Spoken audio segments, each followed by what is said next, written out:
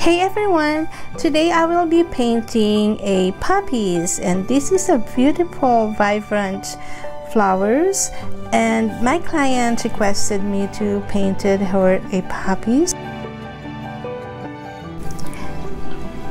The size of this is 15 inches by 22 inches in arch cold press watercolor paper.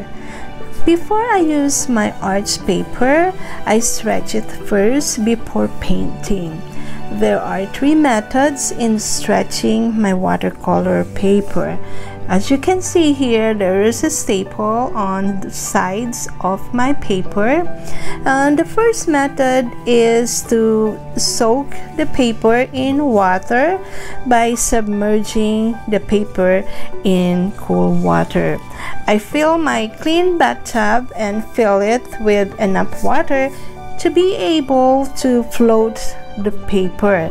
I lay it flat into the water and then I let it soak for about 5 to 10 minutes. And then number two, I lay flat the paper in my watercolor board and then stretch it to smoothen the uh, paper out. I use my hand and gently um, stretch it out. And then the third uh, method is I staple the paper all the way to my watercolor board and let it dry. So you can see here. I didn't put it on my easel because of my camera um, is on my overhead top. And I'm still setting up my my um, easel and my camera.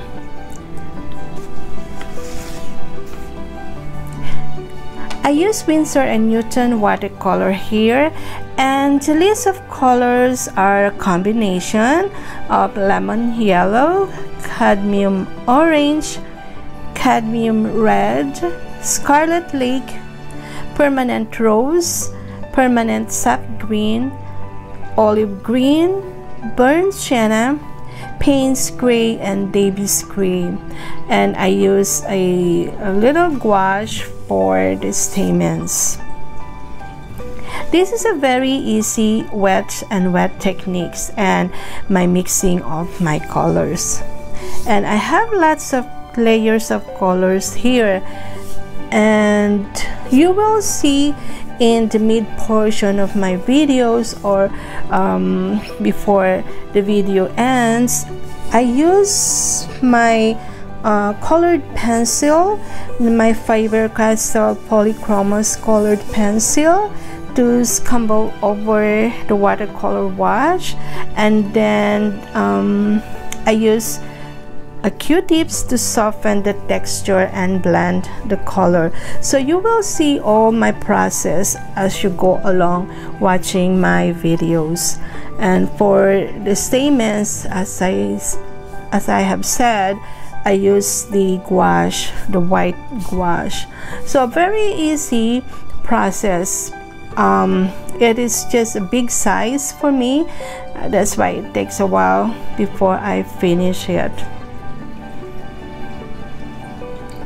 I really really uh, enjoy doing watercolor painting because it is so relaxing as the water flows and mix with different colors.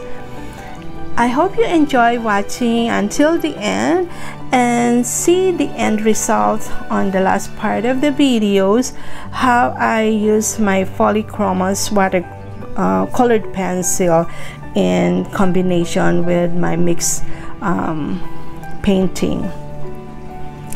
So thank you again everyone and I will see you on your channel. Bye and take care.